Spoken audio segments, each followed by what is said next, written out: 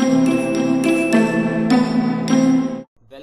dear students in the education of tally.erp9 in this part we will teach you how to reconcile the bank statement in tally.erp9 automatically. In the past lecture i have taught you the system of uh, manual bank reconciliation.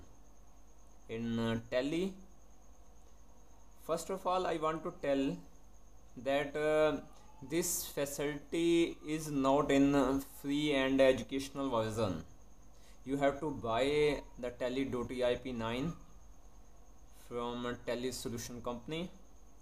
After this you can use this feature.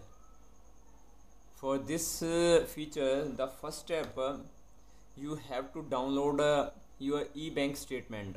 Whether your bank account in the SBI or in HDFC or any other bank you just uh, download the bank statement. And uh, same bank statement uh, you have to import in uh, tally.erp9 by using the import feature.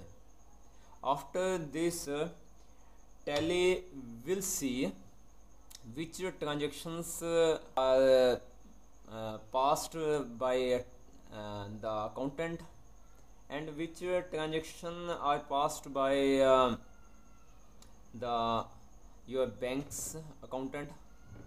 So both balance balance as per the cash uh, cash book and balance as per the bank statement uh, will see and uh, amount not reflected in the company book. Also will will will show because uh, today the time is the time of uh, internet and online banking. And uh, some transactions uh, like uh, interest and automatic payments and its information will get content after some time. So all bank reconciliation uh, we we will see uh, automatically uh, uh, in the tally. Just uh, you uh, will go to the um, display and then ledger accounts.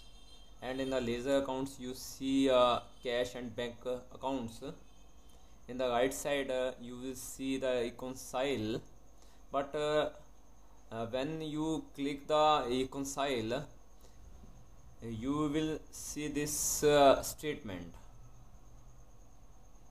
And uh, the reason behind uh, of this whether some transactions are not passed in your book or in bank's book. So these transactions will be passed in future